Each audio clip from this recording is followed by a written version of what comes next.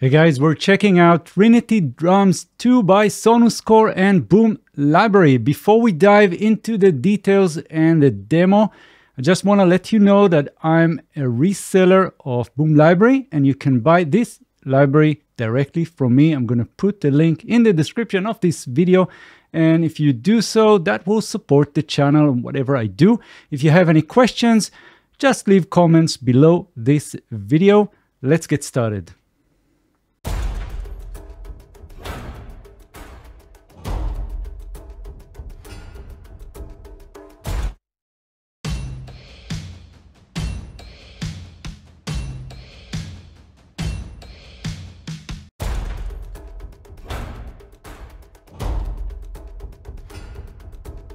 So let's do a very quick overview of the user interface and then we'll finish this video with more sound demos, more presets.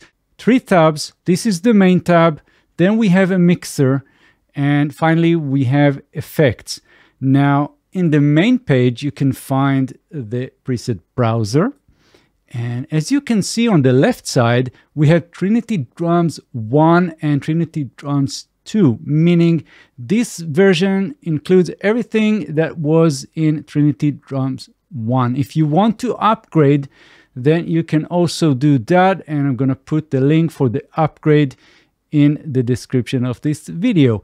So you can see that the presets are arranged in version, drum 1 and 2. Then we have categories, cinematic and modern. We have the meter, 4x4 or odd, and by BPM. And of course, if you're using Komplete Kontrol software to uh, to host this, then you'll see all the presets in that browser, a little bit different. And now on the top here, we also have phrase sync. So what that means is that when I'm playing anything, well, all these la layers will be playing together in sync. And that brings me to talk about the layers.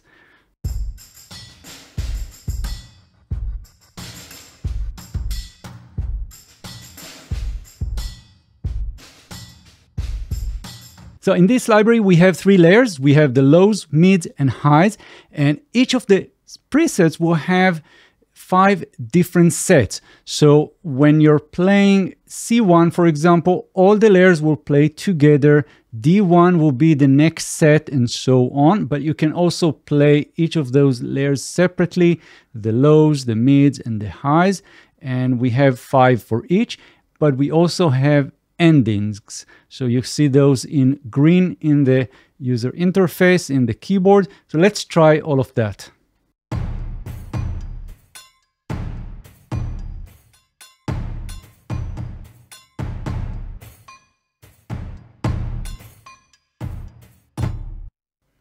Right, so you can play the phrase and then end with those green keys. If you want to play those layers separately, then of course you can do so. You see the blue key switches and we can try those. C2 will be the low. And D will be the next set and so on. Then we have C3, that will be the mid.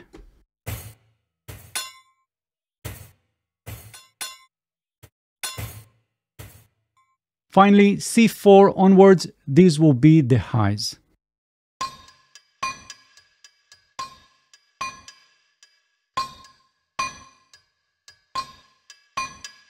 And again, we have five sets for each of those layers. Let's try some more sounds.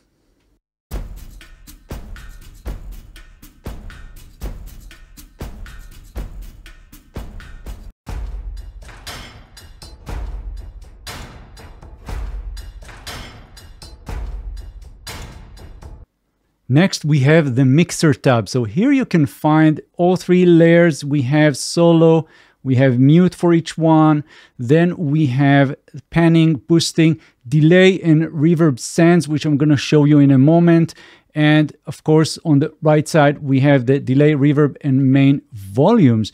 Now, if you want to set the reverb and the delay, we'll need to go into the effects tab here you can find the uh, different effects like EQ, compressor, distortion, transient designer, filter, lo-fi, you can turn on and off for each of those layers separately. So right now we are on low. I can go into the mid, into the high. And finally, we have the delay and reverb send effects. And here you have a choice of signature for the delay and some choices for the reverb.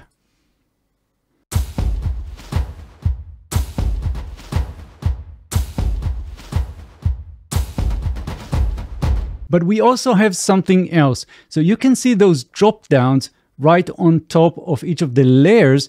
And that means you can mix and match those layers. So right now, all of the layers are from Anvil, but I can just mix those and get different sets of uh, sounds. And I'll go back into our main page and now I have something completely different that wasn't in the original preset.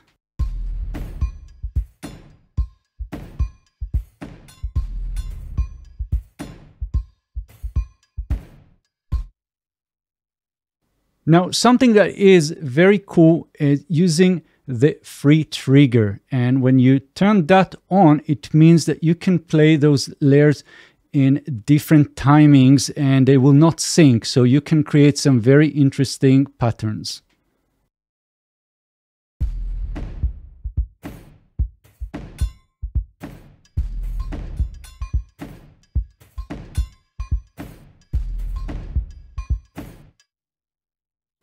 And finally, you can always go into that little switch on the bottom right and turn the uh, user interface into bluish. That will be sort of the Trinity Drums 1 uh, design. So that is it. This is Trinity Drums 2 by Sonuscore and Boom Library. I'm gonna put the links in the description of this video.